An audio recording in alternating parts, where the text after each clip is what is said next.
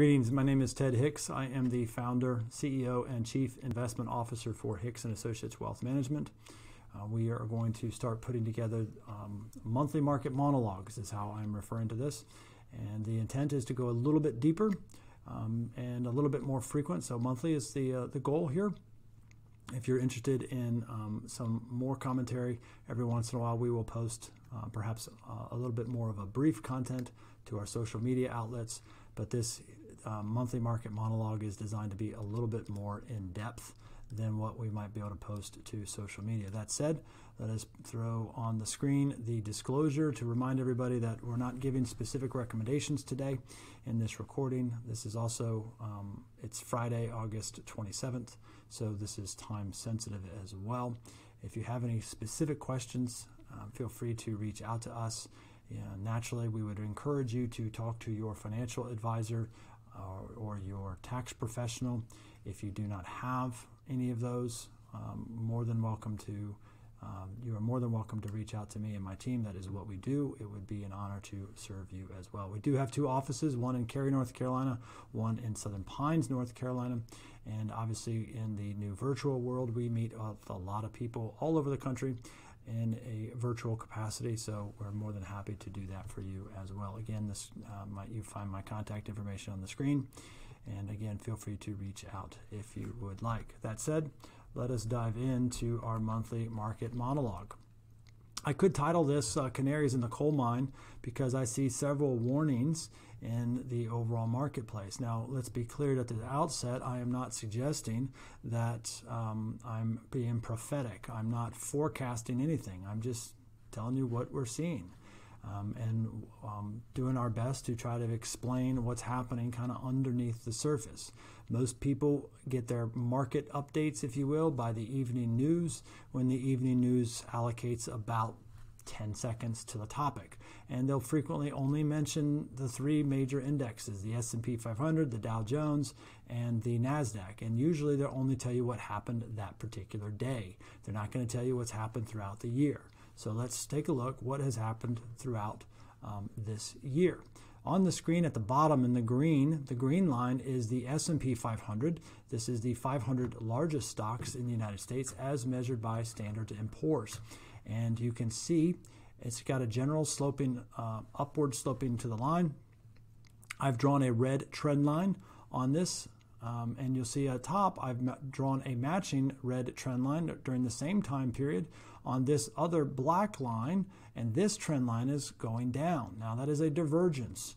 Usually, what we're looking for is we want to see um, two different indicators, if you will, that confirm one another. In this case, this is down, that's up, that's not confirming. That's called a divergence. So, what is the black line? The black line is called the advanced decline line. The advanced decline line is the cumulative total of the number of stocks that are advancing minus the number of stocks that are declining. Now, full disclosure, this advanced decline line is on the New York Stock Exchange those stocks, not just the S&P 500. So this advanced decline line actually includes more stocks than just the S&P 500, but that's why I drew it because I'm trying to show that there's um, not a lot of breadth in the market. In other words, what that means is that even though the broad S&P 500 is going up, there's not a lot of stocks that are actually participating in that. And a lot of people have a hard time understanding that, but the S&P 500 is cap weighted. What that means is cap, cap weighted means capitalization or the size of the company. So if there's 500 stocks in the S&P 500, it is entirely possible for the 100 largest stocks to be going up and 400 other stocks in that same index going down. But the index still goes up because if it's the largest stocks that are advancing, because of how the calculation is done, the index can still move up, and that's what we're seeing as I'm about to show you. So this is a warning. This is called a bearish divergence. Uh, if you don't remember what bulls and bears mean in the stock market, a bull market is when the stock market is going up. The way to remember that, if you need the help, is how a bull charges. A bull charges and it rears its horns up. That's how a bull will attack. So bull market is when the market goes up. Bear market is when the market is going down. Why? A bear market is uh, referencing a bear that's attacking and they're swiping their paws down in their attack. That's how you remember that. So this is considered a bearish divergence. It's a warning. It's not prophetic. I'm not forecasting anything. I'm just saying this is a warning. Um, quite frequently, when we see a broader market decline, we see this in the very early stages. So this is a warning. Again, not being prophetic. Um, and I hope it is a false warning. I hope it's a false alarm. This is the junk bond uh, ETF. Junk bonds, if you're not familiar, are bonds that are issued by companies or debt issued by companies, but these are issued by companies who have a low credit score. It's the easiest way to describe it. Generally speaking, there's correlation between the junk bond market and the S&P 500 or the broad market. Uh, there's correlation there because there's higher risk in junk bonds than you might otherwise find in, for example, the investment grade bond or the United States government debt. Okay, so what I'm seeing here is since December of 2019 to today, it's a fairly flat line. Now, again, there was a massive correction. That's that coronavirus correction. It's recovered, but it hasn't risen any further. Let's make this a little bit more pronounced by showing you that same data, but now we're going to show you it alongside the S&P 500. Again, you see the S&P 500 at the bottom. It's got a trend that's generally up. You still see the correction there, but it corrected and it's rising. That did not happen. The junk bond market is not confirming the S&P 500's advance. Same data, drawn slightly differently. S&P 500 through yesterday, it's up about 20%. The junk bond market is up about 0.76%. At least that ETF is up about 0.76%. What do we typically see? Well, what we typically see is that these two um, markets and indicators are have a higher degree of correlation. In 2009, after the global financial crisis, there was I'd say tremendous correlation. Those two lines look very, very similar. Okay. 2010, the very next year, again, those lines are not the same thing, but there's a lot of similarity, which is what correlation means. There's a lot of similarity between those two um, um, lines. 2011, same thing. A lot of similarity. Now, I'm obviously I, I don't have time um, to go through every single year, but what I'm trying to show is it, it's different. Right now, we're not seeing that same degree of similarity. Um, short-term signal. Let's move on. This is the S&P 500, the stocks that are in the S&P 500 that are trading above the 50-day average. This is actually good news. So everything is not bad. What this is telling us is lately, the last 50 days or so, there's been an increase in stocks that are above the 50-day average. Um, that's actually good news. But let's show you the 200 day line and the Nasdaq. The Nasdaq has more stocks than the S&P 500. That's why I'm showing this. And the 200 day line is the 200 simple moving average. That's what that stands for. So what this is trying to demonstrate is what percentage of the stocks on the Nasdaq are uh, considered to be in an uptrend. The 200 day moving average is generally considered the line that would determine whether a stock is in an uptrend or a downtrend. If the stock is trading above the moving the 200-day moving average, it is considered generally to be in an uptrend. If a stock is below the 200-day line, it is generally considered to be in a downtrend. Well, in the NASDAQ right now, or technically as of yesterday, only 38% of NASDAQ stocks are trading above the 200 day moving average.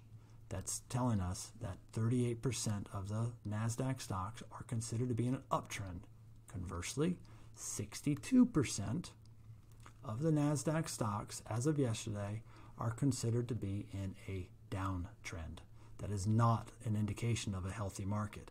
And if we go back, we can see this is January 25th. This is when the weakness started in the NASDAQ. And you can see it has bled into more and more companies struggling to maintain that uptrend. That is not a healthy market. Why? Um, let's talk about um. Fangum is a kind of a made up index. It is uh, composed of six companies that's Facebook, Apple, Amazon, Netflix, Google, and Microsoft. This is like the trillion dollar club. These are very, very large stocks that are traded um, in the United States. They are in the S&P 500. Um, and what I'm trying to show is through July 14th. There's a reason I, I stopped this at that date because some of these stocks have kind of drifted south since then. But up through July 14th, the Fangum index, if you will, was up more than 22%. The S&P 500 was only up about 18%. That's a reasonable delta. But if you take the S&P and you subtract the Fangum stocks, that index is only up about 14% as of that date. So 22 minus 14, that's a fair amount of delta uh, or difference in those uh, those two um, sectors, if you will, the S&P and that small subset of the trillion dollar club. Another way to look at this, this is a small caps. This is a small cap ETF. Again, not a recommendation by any stretch of the imagination, but we see uh, a trend began anew here in October and it has risen, risen, and here we are in February, and you can kind of see it's just meandered sideways ever since. This is small companies, okay? Smaller companies throughout the United States. Um, they're struggling to con- to continue to advance north. That's again not a healthy um, healthy thing. Now the S&P 500 is broken down into 11 different subsectors. Uh, as an example, financials XLF is one sector of the S&P 500. There's 11 different sectors, and I'm just looking really quickly at how all 11 of those subsectors are doing. But what we're going to show is how healthy are those sectors and how they, do they compare to the S&P 500 overall. Okay, um, generally speaking, we want to see. Um, well, we don't like to see this, but we don't like to see 5% corrections or larger. Um, but a 5% correction in, a, in, the, in the stock market is fairly common. It's also fairly healthy. It's kind of like trimming your shrubs, it fosters growth. So when we see a correction, uh, if it's only 5%, that's good. It gets a little scarier when it goes beyond 5%, um, but a 5% correction is generally a healthy thing uh, for uh, uh, us to see in the stock market. Um, and on average, we would see a 5% correction in the broad indexes about every 90 days. Um, that's on average. Right now, I think we're approaching 190 days where we have not seen a 5% correction on the S&P 500.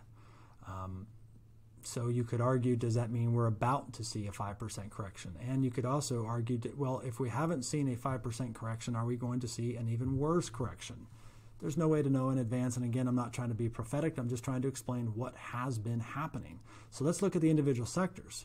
This is the technology sector, and what I'd like you to see is that there's been two corrections greater than 5%. Here's a 9%, oh, let's call that a 10% correction, and here's an 8.5% correction this year in the technology space.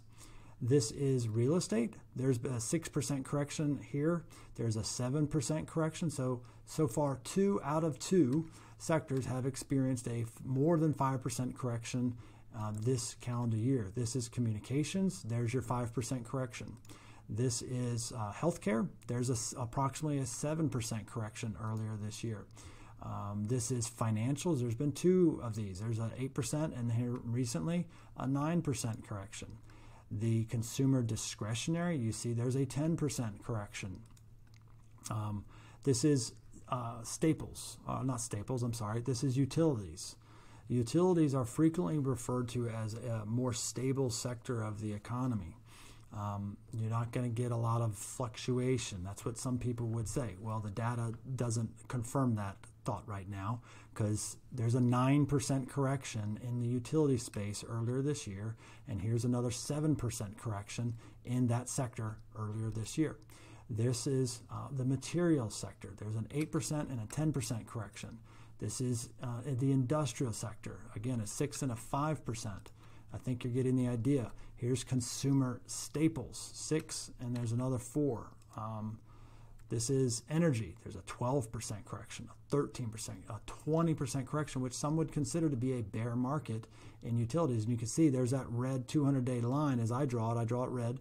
The red line, it's just barely recovered recently. Um, now, so each of the 11 sectors have already experienced a 5% correction. The S&P 500, however, has not.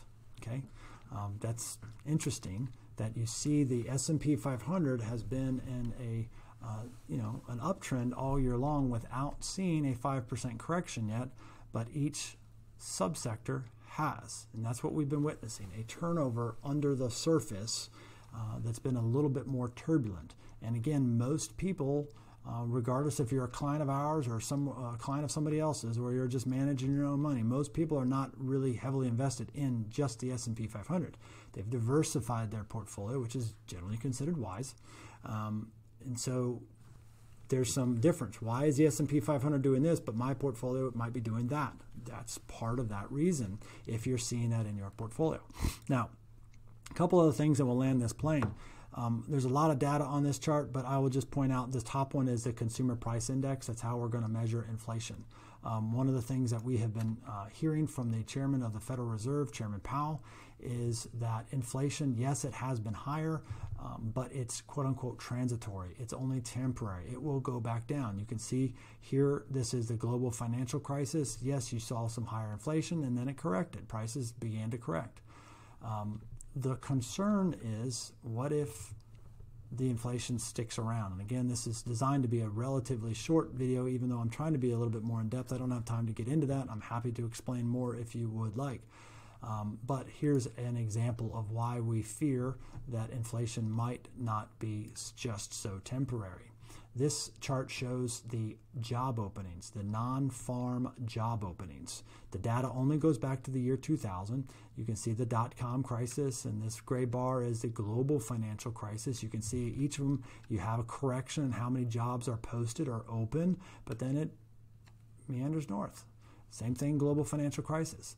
Um, here, we obviously saw a correction in the number of jobs that were available, but it has very rapidly changed and we're at all time highs. And that's not correcting. There's not coming back down. To me, that's a concern because what you're also seeing out there is probably anybody watching this video has seen a sign on a fast food restaurant that is offering a starting salary of $15 to start, $15 an hour to start. Now, um, we can, you know, um, get lost in that topic, but that's wasn't the case 12 months ago. Um, that is that could easily put pressure on those, for example, that fast food restaurant to increase the price of their hamburgers or whatever they're selling. Um, but it's not just in the fast food restaurants; it's just about everywhere. You're seeing more and more companies and more and more industries that are offering signing bonuses just to get people to come in and work. Um, there's there's a lot there. Obviously, it has a lot to do with COVID, and think that's not the point of this video. The point is, it can cause greater problems in the economy. Now, this is the last chart, and I'll land this plane. Um, typically speaking, this is the S&P 500, and the blue bar that I'm moving at the top of the screen is just the period of time that is on the screen. And so this is what most people are used to. This is the last 15 years in the S&P 500. This over here is that global financial crisis. Um, but the point is, most people just are under the impression that the S&P 500 just goes up. Every once in a while, you have a correction, but it's not that bad. Well, I beg to differ. Um, actually, in the United States history, we have seen some pretty ugly scenarios. This is a 15 year period from approximately 1965 through 1979. And um, if I remember correctly, if I do the math from the start of the period to the end of the period, you get about a 2% rate of return on average if you just held that index during that time period. Now, um, a 2% on average return is what the math shows. However, that doesn't look like there's any year in this 15 year time period where you actually got an average return. It was either way above or way below. And what I'm trying to show that with this is the fact that during this 15 year time period, which actually happened here in the United States, this 15 year time period, you had four bear markets. So you could argue that it, a very scary time period if you're uh, were invested during this time. And again, I'm not trying to be prophetic, not trying to forecast that this is coming. That's not what I'm saying. But what I am saying is the theory of it's all rainbows and, and um, unicorns is that's a fallacy. We have witnessed periods like this, and we could easily see that type of things happen again. Um, and so this dictates, if you will, um, why we do things uh, within my firm the way that we do things. Because, uh, first of all, it's all not rainbows and unicorns. And we need to know, or we believe we should know, what's going on in our clients' lives so that we can apply what we're seeing to their individual situation. Um, and this also um, helps to explain why we manage money the way that we manage money. Because these types of things can happen, and we need to be prepared for um, if they should ever happen again. I hope I'm wrong. I hope I never see something like what I just showed on the screen. But if it does happen, we need to be prepared. So, again, that was um, our monthly market monologue. I hope you found it helpful. If you would like to chat in more depth, by all means, feel free to reach out to me. Uh, or either of the two advisors that serve on my team. Again, the two offices in Cary and Southern Pines. And again, happy to meet with you virtually if you would find that um, to be valuable. So, again, thank you for watching, and I uh, hope you have a good day.